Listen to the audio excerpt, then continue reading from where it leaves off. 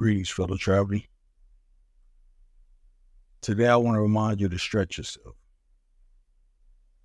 Whether that's your physical body or your mentality. Learn something new. Learn a new aspect of something, even if that something is yourself. See, every moment there's a lesson that we can garner, that we can harness, that we can harvest in for ourselves and apply it to different areas of our lives. And I've seen on my journey that many a times, as I've said before, as has been quoted before, the thing that I seek most is on the other side of fear. And I learned a while ago on my journey that there's nothing wrong with learning. There's nothing wrong with the perceived failure that comes with learning even more importantly, there's nothing wrong with believing that you can do something. No matter what that is in your life, own that, trust it. Even when not one person around you believes the same. You still have to trust in who you are, trust in the creator that you believe in, know that the power that creator is within you. And that's what allows you to make whatever you want possible in your lifetime. It's not about changing the world. It's about allowing ourselves to experience a reality that we like and sometimes that we do not like.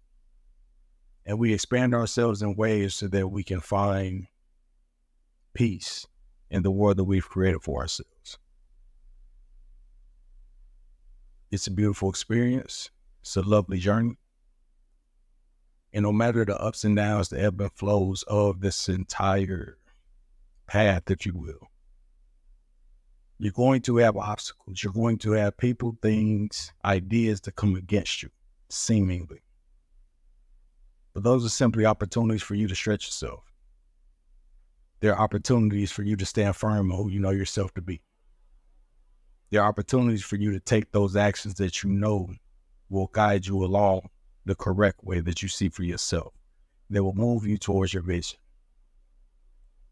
It's one step at a time, but with every step is a stretch.